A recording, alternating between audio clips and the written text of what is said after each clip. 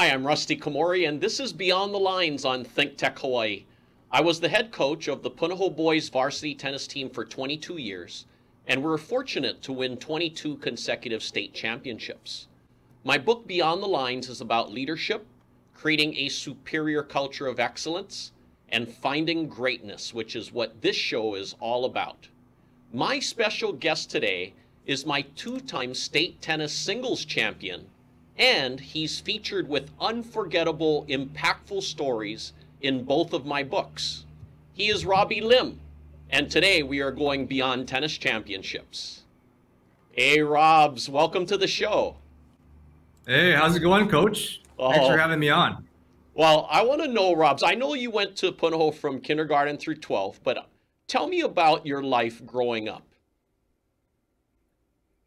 Yeah, uh, first of all, really appreciate you you uh, you know sharing my story with the world. Uh, it's been awesome to see uh, so many folks from all over the country and the world, uh, you know, buy the book and and and find some great learnings from it.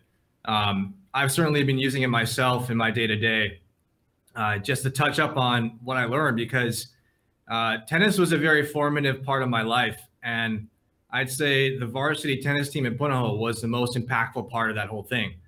Um, in terms of growing up, I was uh, unfortunately pretty average. Uh, I was a pretty average kid uh, up until eighth grade. I was a B student. I didn't have the hugest friend network. Uh, in tennis, in eighth grade, I had serious doubts about whether I would even make the varsity team in ninth grade. Um, and that was certainly my goal to make it uh, worked really hard and uh, eventually got it done, but uh, you know wasn't finishing in the top in the state. Uh, and there were serious doubts from from a lot of folks I knew uh, who would tell me directly, "Hey, you're not going to make the team in ninth grade." Um, and so it was really quite, I'd say, average uh, up until maybe ninth grade. Robs, what is it about tennis that you love so much? Yeah, I I can't say that I actually loved it until I started playing on the varsity team. I think the main thing that changed for me was that we were able to turn an individual sport into a team sport. And tennis, it's it's tough feeling very alone on the court. I was a singles player. Uh, there's really no one else, you know, by you out there, and uh, you're out there until uh, until all those points and all those sets are are are done. Um, and you can't talk to anyone. It's it's a very lonely uh, a sport, and somehow I think we really turned uh, tennis into an amazing team sport where I felt like I was playing for something greater than myself. I was playing for the team, I was playing for the school, and uh, you know, it's looking back, everyone wanted to beat Punahou.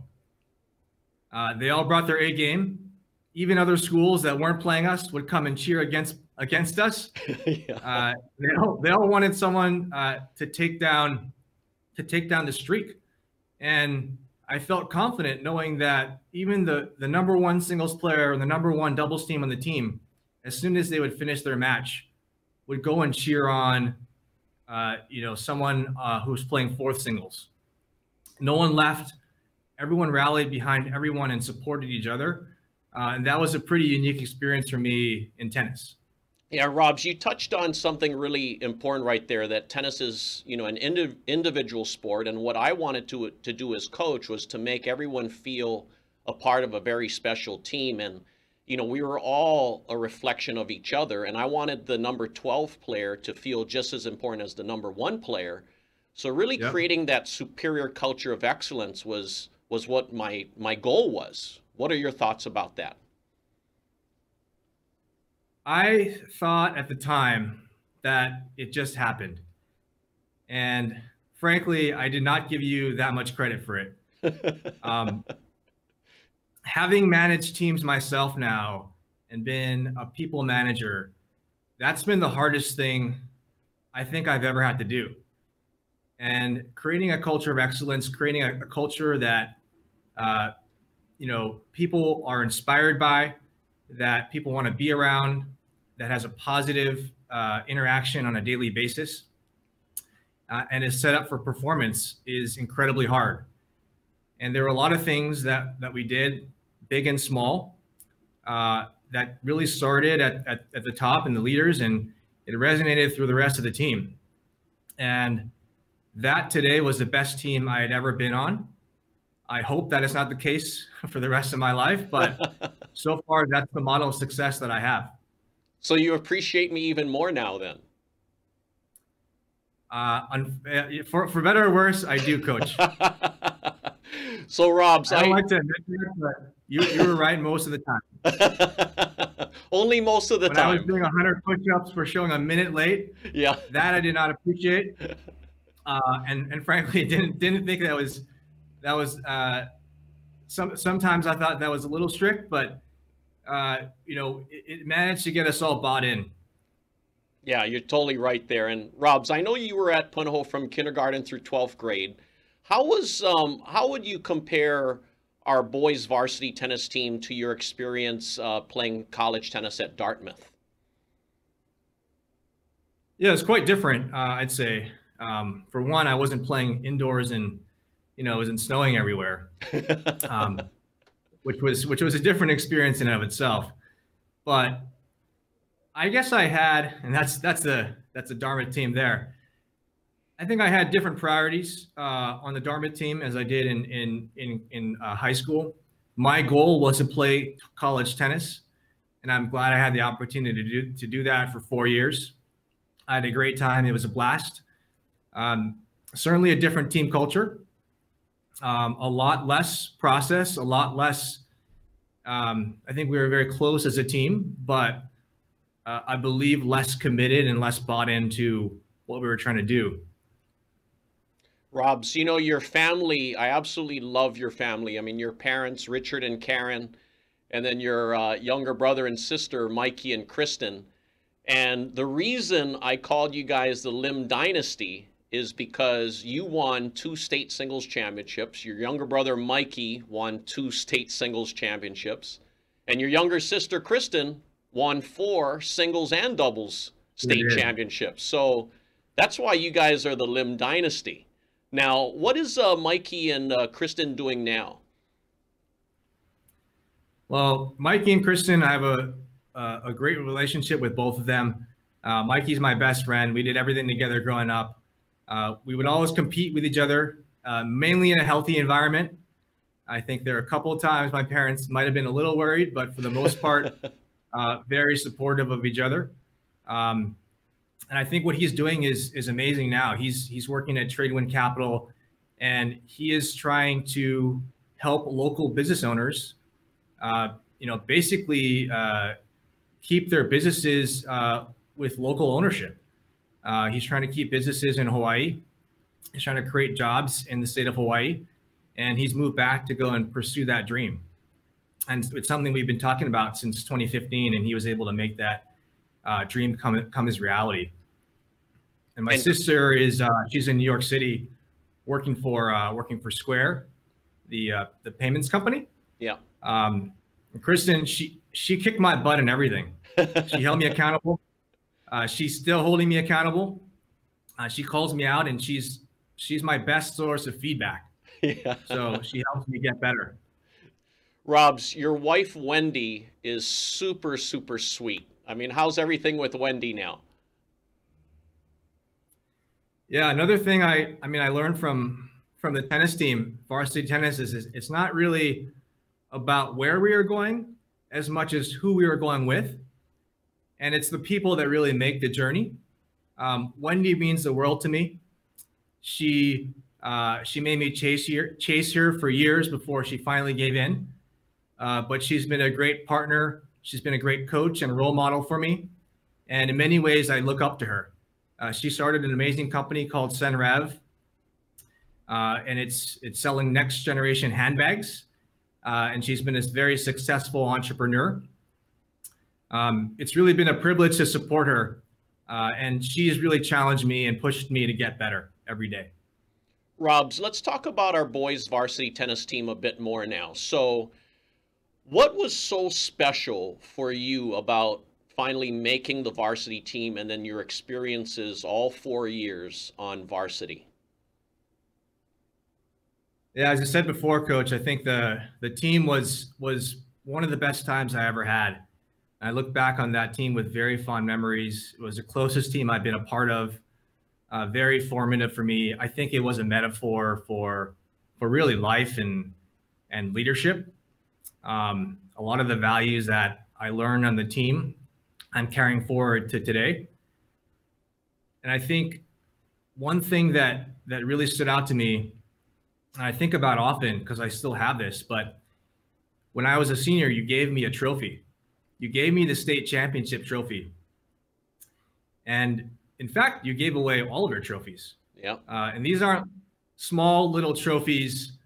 Uh, these are amazing, amazing. This is like the Lombardi Trophy. I mean, these are uh, these are huge wooden carved trophies, and um, easily could have kept them all, but you gave them to the team, and I think that really meant a lot to a lot of us that received these things. And I think that's a big takeaway for me is that you know when things are going well in on my team today, it's it's trying to give credit to the team and and vice versa, taking the blame when things go, don't go well. And so that's just one example of of I think a leadership uh, trait that you exhibited that I've tried to take forward to today.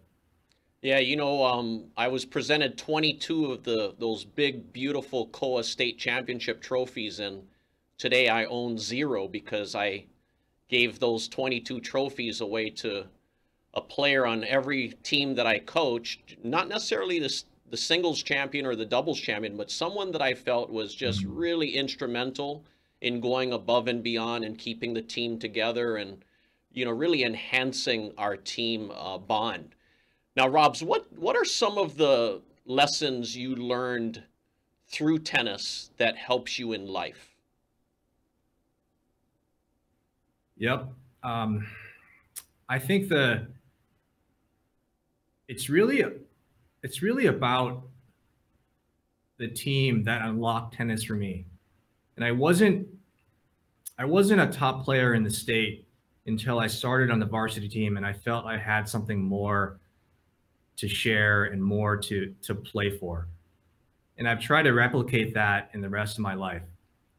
And to me, it started with the people. And I think you talked about this in your book, The Four Ps, but people I believe is probably the most important part of it. Um, in my team today, it's about recruiting. It's about getting the right people in the right roles, finding uh, finding ways to empower them, and that's really what it comes down to. I spend a lot of time recruiting, a lot of time uh, trying to find uh, the areas that uh, people can fit into, where they can really bring out their best selves and that's that's really the best way for me to get leverage in my career. It's the best way to help uh, companies scale, uh, and the right people make things easy, and vice versa. Robs, I love hearing all about that. You know, and you know, the most effective leaders create other great leaders. And for me, I'm so proud. I'm so proud of you, you know, in, in everything that you're doing from back then and now and for your future. But well, we're going to take a quick break, Robs, and when we come back, we're going to continue going beyond state championships, okay? Sounds good. You're watching Beyond the Lines on Think Tech Hawaii with my special guest, Robbie Lim. We will be back in a quick minute.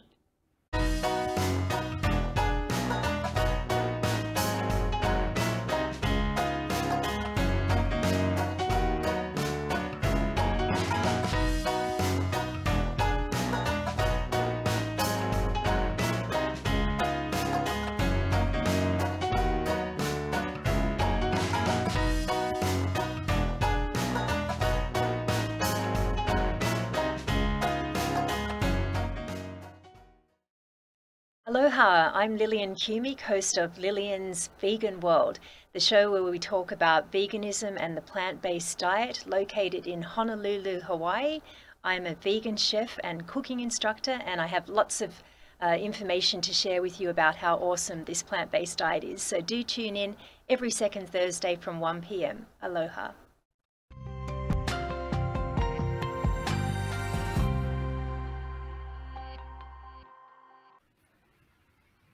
Welcome back to Beyond the Lines on Think Tech Hawaii. My special guest today is my two time state singles tennis champion, and he's featured with unforgettable, impactful stories in both of my books. He is Robbie Lim, and today we are going beyond tennis championships. Rob's, in my book uh, Beyond the Lines and my new book Beyond the Game that's coming out soon, I mean, you're featured in both of them. Okay, now in the first book, I talked about you and your experiences leading up through your junior year. And then the second book, Beyond the Game, I talk about what happened during your senior year. But let's talk, I want to ask you about what are some of the principles that stood out to you in the book? Sure. Uh, lots of principles in the book. Uh, the four P's stand stand out to me probably the most because that's fundamental. But we talked about people right before the break. And I think that's just essential to get right. And uh, purpose. Purpose is, is really important. It's it's it's the best way to inspire people. Uh, there's there's really a, a, number of ways to get people to do things and to work together. I don't believe in a fear-based approach. And what we used at in varsity tennis and, and we, we talk about in the book is about finding a purpose and finding a vision and mission that everyone's aligned around. And really in, in, in the varsity team, that was about uh, that was about uh, achieving greatness and being the best team we could possibly be. And everyone really, really bought into that purpose uh, on the team.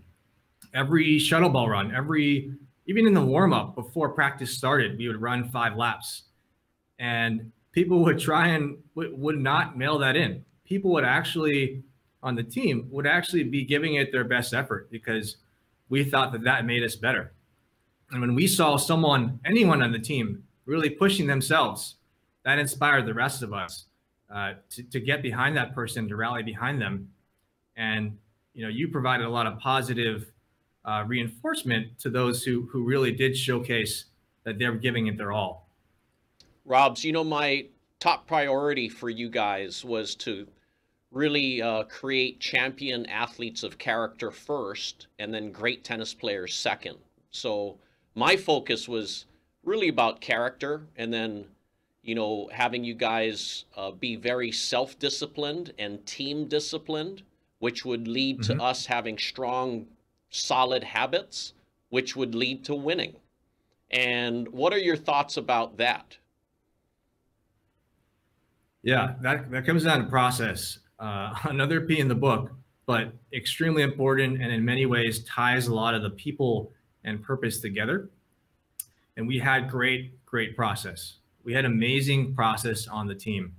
Uh, and some of that was small and some of that was big. But we had, uh, we knew how to prepare for every match. We knew how to prepare for the state championships. We knew how to be, how to be uh, in a position where we are in the best shape of our lives. And it started off with with little things like showing up on time like it's yeah. really hard to actually start a practice when someone's coming half an hour late or 45 minutes late, not taking it seriously. And what was impactful for me is that even when the top player, the number one player in the team, came one minute late, that set the entire team back. And everyone actually believed that.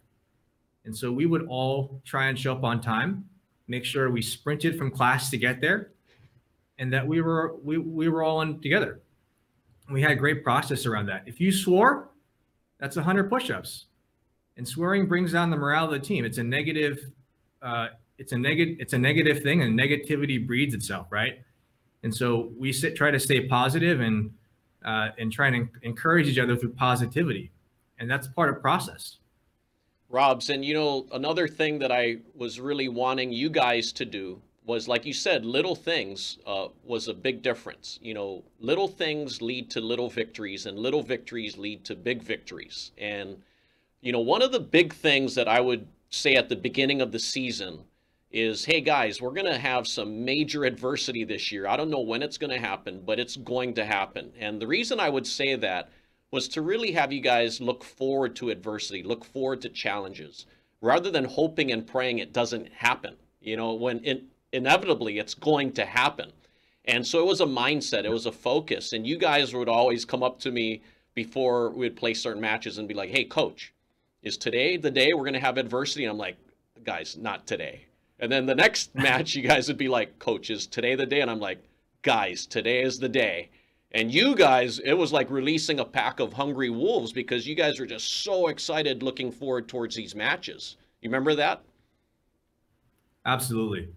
And adversity is not only on, on the court, right? It's it's elsewhere too. I mean, people were dealing with with injuries, people were dealing with family situations, with schoolwork, um, with with breakups. Yeah, that was that would seem to be a big theme sometimes. Uh, and and I think we were we were all in it together, and we felt that we would support each other as a team through that adversity. And I did feel like we were prepared for that adversity because we knew it was coming, and we believed you uh, and especially the folks as we got more senior on the team. Uh, by the time you're a senior, every year there is adversity, and it might not be the whole team. It might be one player that really goes through something really, really difficult. Um, but it, it, it did come. That was that was a pretty consistent theme throughout the time that adversity did come and challenges did come, and luckily we were able to to bond together to get through it.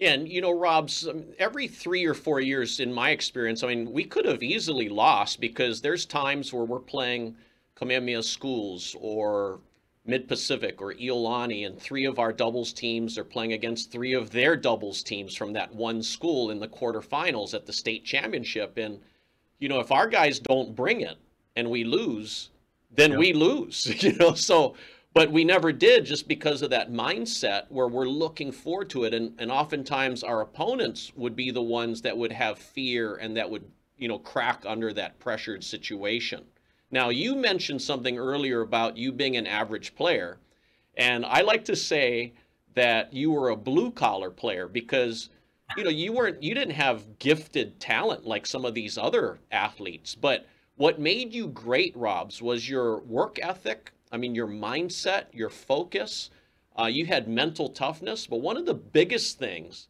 I feel you had heart. And it's something that you can't measure, it's something that's deep within. What do you think about that? I honestly, I I don't know if I can take credit for that. I have to t- I have to give credit to the team on that one. I mean, the the moment, the the big moment of where I was in the most uh, the most difficult situation was in my junior year state championship. Uh, I had been to the hospital with I think four bags of IV solution for cramping after the quarterfinals, and I had barely pulled out that match. I think my next match was at 8 a.m. the next day uh, against an opponent that was better than me, frankly, and I found myself I woke up, felt terrible, could barely move, was super sluggish. I found myself in a massive hole. I was down 6 0, 5 2. And I remember it being 30 all, and my opponent was serving.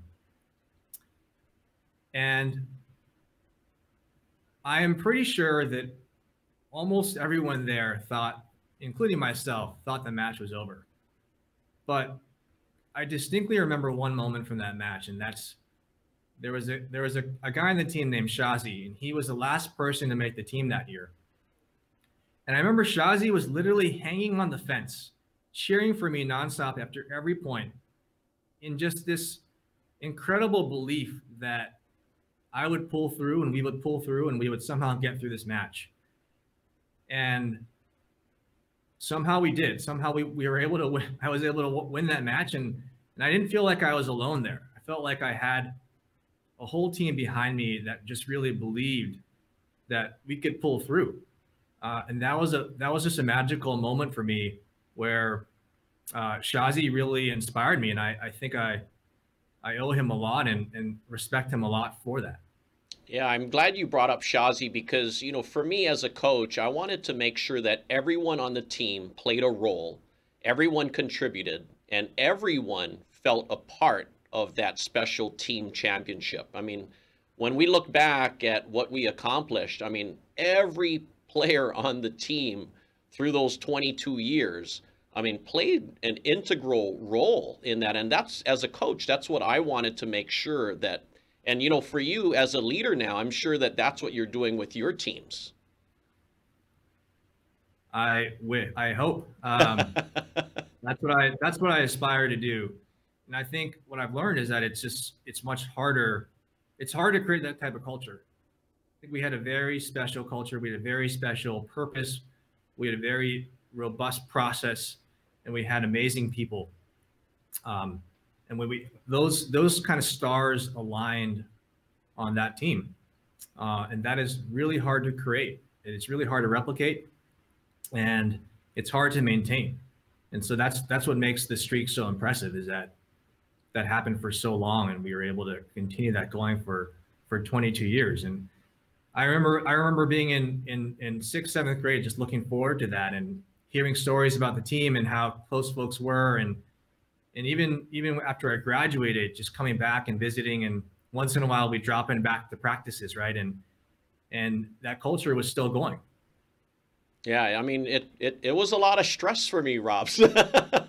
but uh, but you know those three P's led to the fourth P, which is performance, and that's what going beyond the lines is all about, and that's why I wrote about that in the book because you know I want people can be wanting to win, you know, and they focus too much on winning yep. rather than doing all the things that you should be doing and then winning becomes a byproduct of all the things that you've done.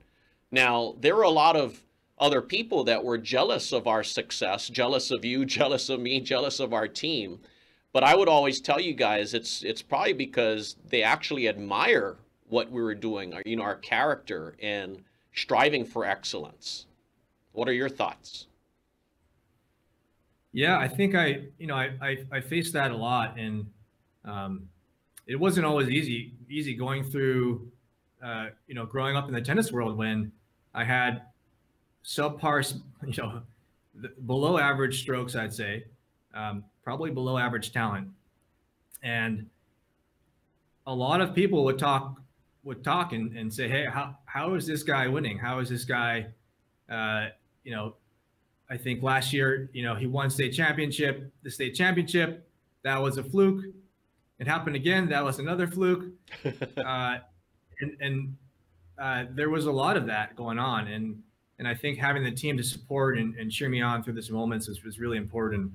Um, but uh, that's also that's also character building. That that teaches, uh, you know, it taught me a lot about self belief and and believing in myself and believing in my teammates that they'd have my back. And at the end of the day that we, we'd all do the right thing for each other. Robs you know it, it was all about controlling everything that we had control of and not really worrying about things beyond our control. And robs i gotta thank you for taking time in your schedule to be on the show today and uh, sharing your insights. Absolutely. Uh, thanks for having me on uh, it's been an honor to to to work with you and learn from you in this these past. It's been a long time now, twenty years or so, and and uh, I'm looking forward to going beyond the game. That, that one's that one's hard to get to get a hold of right now. Well, it's it's uh, on pre-order on Amazon. Yeah. I have I have it. It's I'm waiting for it. So. It, it it's coming, Robs. It's coming. All right. Thanks, Robs. I'll talk to you soon. Okay. All right. Thanks a lot, Coach. Take care. And thank you for watching Beyond the Lines on Think Tech Hawaii, and a special thank you to my clothing sponsor, Iolani Incorporated. For more information, please visit rustykomori.com, and my books are available on Amazon and Barnes & Noble. I hope that Robbie and I will inspire you to create your own superior culture of excellence, and to find your greatness, and help others find theirs. Aloha.